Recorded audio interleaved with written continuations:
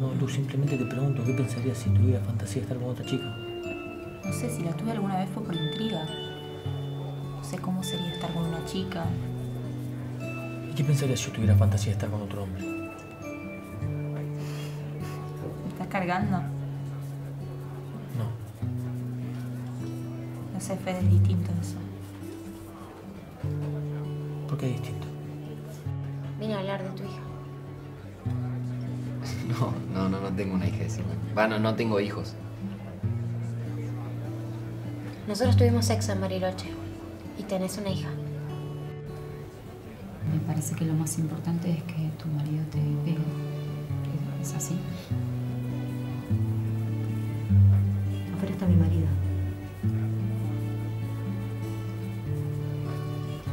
¿Querés que lo haga pasar así hablando? Sentados en el sillón, uno leyendo el diario y el otro mirando la tele. Y se nos pase así la vida. ¿Qué carajo me estás hablando? ¿Qué le parece una tontería? Porque nuestro hijo está sufriendo burlas. Y es doloroso para él y es doloroso para nosotros como padres. No es ninguna tontería, ¿eh? Perdón, ¿sabes lo que estoy sintiendo? Que me está dando una clase de cómo educar a mi hijo.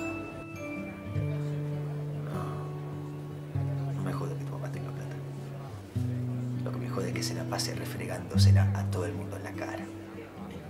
¿Qué querés que haga? ¿Que le esconda? ¿Para que vos y los de tu clase no se sientan mal? ¿Por qué te metes en mi computadora? ¿Por qué invadís mi privacidad? ¿Qué estás loca? Malena, te ibas a encontrar con un desconocido. Estoy sola. Quiero usar los embriones que congelamos. Pero yo sería el padre de sus hijos. Mamá está muerta. Aceptalo. Hace seis meses que está como una planta. No puedes hablar así de mamá. Ya no es más mamá. Si da negativo o algo mal, este, se cierra el trato ahí.